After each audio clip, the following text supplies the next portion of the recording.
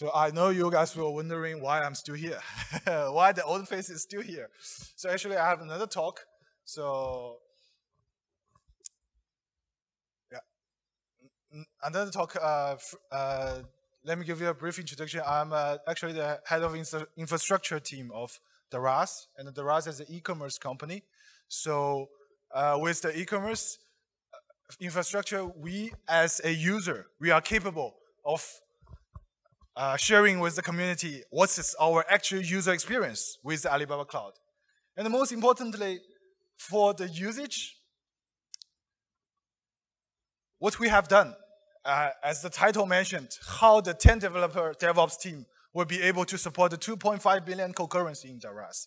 This is uh, really, uh, I think, something we could proudly share with the community and, be, and to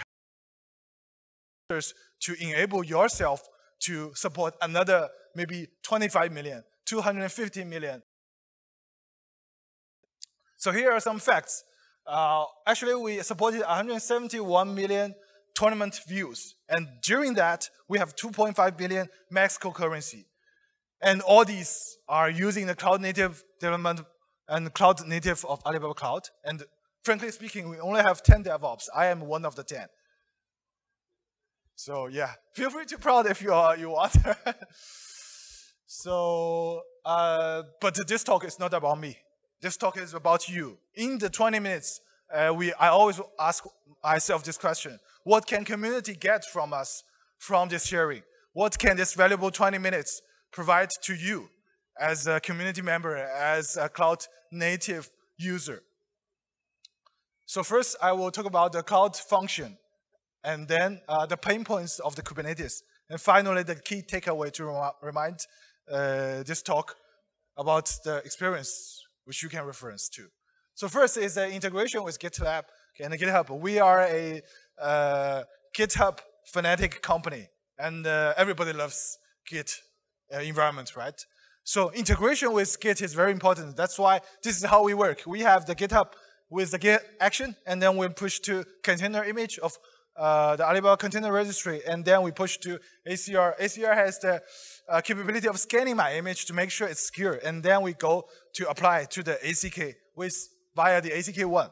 ACK1 provides you the capability of uh, deploying in different cloud platform, and in order to ensure the stability, we do employ different cloud platform in different regions and in different areas. And here's the pain points. As you can see, uh, lots of you, some are developers and uh, some are infrastructure people. What if we can merge them together? What if we can reduce the operation cost, reduce the CTO cost by cutting it half, by reducing the human capital of infrastructure and developer to become a full stack, including infrastructure and developers. And this is how we do it. Using the cloud function, Cloud Function has the capability of providing you an online web-based uh, IDE. So you can just paste your code here, you can fine-tune your code here, and then you just click deploy. In the backend, the Cloud Function function compute will be able to pull up the Docker image. Doesn't matter if you're uh, Python, if you're Java, if you're Node.js, these are all supported we have templates for you in the backend. So the only thing you need to do is click deploy. And then there will be three environments, test, uh, test environment, uh, and uh, staging and uh, production. And with three environments, you'll be safely deploy everything via just one click. And then you don't even to need to buy the intelligent IDE, all these stuff. These are all can be integrated into the function compute web IDE. So I think this is really something. So our developers will become developer, full stack, and DevOps. Everything he can cover via just one person. We are enabling your, you as a developer to become, be able to manage everything yourself. And we also are able, enabling the business owners to be able to reduce the operational cost to half, even more than half, and to make sure the profitability of your business. And then this is our uh, function compute capability. I just mentioned we are capable of supporting all these uh, languages. How do we support all these languages via the whole uh, the whole architecture? The whole architecture, including uh, Java, Spring, uh, Express.js, Django, Python, Flask, and also Vue. So everything you can imagine, we already exist. We, these things are not developed by ourselves. These things are integrated with the community. You are using more language, and then we are integrating more. So as a community, we grow together, we rise together, and we success together as a whole. So function computing is great, but what if it's not enough? When it will be not enough? What's the criteria to understand this? Uh, let's do an analogy. This is uh, what I usually do. So the analogy like traffic, traffic from network is similar to the traffic in real life. There are so many cars, there are so many new user requests, and there's no room for it. If you want to scale, there are always a downtime. What can we do? We, let's think about it. What if we can run a car, run a bus on the top of the level, the lower level? And this is what we use with the horizontal scaling. If the vertical scaling, scaling is not enough, then let's do horizontal scaling. And that is how Kubernetes happen, right? So Kubernetes is a good thing uh, compared to function compute when the scaling up uh, is not even enough for the function compute. So everybody use Kubernetes. What are the pain points and what can we resolve and what can we offer to ease the pain points of Kubernetes? So first, uh, we have three types of Kubernetes. First is dedicated, and then managed, and then serverless. Serverless is great. Serverless is always great, like function compute, it's always great. But uh, when it's serverless, the time you pull up the new service, the new nodes, there's also a time. And that time very much dependent on your business growth. What if I can know my business growth ahead of time? I know I have a campaign. There will be 100 times user. I, so I can reduce that uh, lead time of serverless scaling up by scaling up one day or one hour ahead of time using the dedicated or managed. So this is a balance between serverless and the dedicated or managed service. When you want uh, the, the, when you have the idea of how much it will grow, then use managed, use dedicated. When you have no idea how much it will grow, and you don't care much about a little bit downtime, then go to serverless. So uh, as I mentioned, uh, we provide different kinds of logging and ARMS.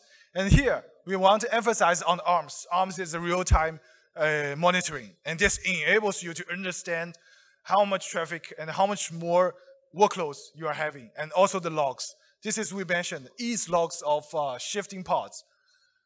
The question, and uh, I just asked previously, is what if your container crashed and you you have no idea where to find the logs and to do QA. And the log system is valuable to you. Well, log system is not only valuable to dev developers, but also valuable to the uh, security people. If there's attackers, if there's a DDoS attack and you want to uh, block the IP address, you don't know where to see. The, going to the container and find the log area and find that file is so hard. However, what we provide is a log system which you can easily categorize and uh, pull up. You can just use a SQL language to group by the IP address. And then if you see millions of IP came up from the same IP address, and uh, that's definitely highly likely to be an attacker, just block it. And this is the inspection, uh, which we just mentioned. Simple questions, uh, are they read-only? Can they uh, can attackers gain root access via your container? These questions are also keeping us awake in the night. What, how Alibaba Cloud can improve this? It is via the inspection. Inspection uh, inspect your old YAML file and be capable of providing you the insights, valuable insights to help you, telling you which are failing, which are the high risk. And most importantly, last year we have the Log4j attack, Log4j vulnerabilities worldwide. And that we are covered in our uh, CVE auditing service. You just go to the platform, and click auditing, and then click on the uh, CVE vulnerabilities checking, and then you will be capable of understanding what are the vulnerabilities. And for example, if last year you have this on Kubernetes on Alibaba Cloud, you'll be understanding what are the applications that have the Log4j vulnerability. And you'll be capable of uh, adding firewall, add, adding anti-DDoS, adding whatever defensive mechanism you have. Finally, we are reaching the end of this session. And uh, I know it's a long time, everyone is falling asleep because, you know, the language and the talking speed. So let's re-emphasize on this 20 minutes. What can we get from this 20 minutes? First, what are the criteria to change from, from function compute to ACK, to Kubernetes? You remember uh, the criteria between serverless and managed server is if you have a prediction, have a good understanding of how big your traffic will be. And if that's 100 times, definitely you will choose to use the managed ACK because you have an idea and it will scale very fast. However, if you don't have any idea how much the traffic will grow, then please try to use uh, function compute. It will uh, reduce your cost by demand usage on uh, pay as you go, uh, use on demand. Second, Kubernetes is hard. We have so many problems. Uh, when the container crashed, uh, where can I find the logs? what if my container has the security issues? What if how many of them has the log4j problem? So Kubernetes is difficult to learn, but we want to be able to lower the barrier of learning via the cloud platform. So we provide everything to you to make your life easier. Also, if you have more questions, more, more issues you encounter, feel free to feedback to Alibaba Cloud. We will be capable of providing you more capabilities and features to make your life easier, make the community grow together as a one piece. And finally, what, we, or what our target is. What our target is just code and push and forget, and that's it. Trust everything for the rest of the Kubernetes, of Alibaba Cloud Platform. Just focus on the code, focus on the business logic, and focus on the business growth. And that's how we help you grow, how we help the developers grow, and how we help the business grow. This picture, I have a deep feeling on it. This kids and the environment is uh, how I grew up. With just uh, some walls, and we don't even have a chair so we sit on a box. However, with the support of the cloud community, with the support of Alibaba Cloud, we are capable of now sharing how our 10 people be able to support the 2.5 million concurrency live stream users. Finally, thanks everybody for the uh, listening and uh, hope you can take something back and uh, uh most importantly, uh, grow as a whole as a community. Thank you.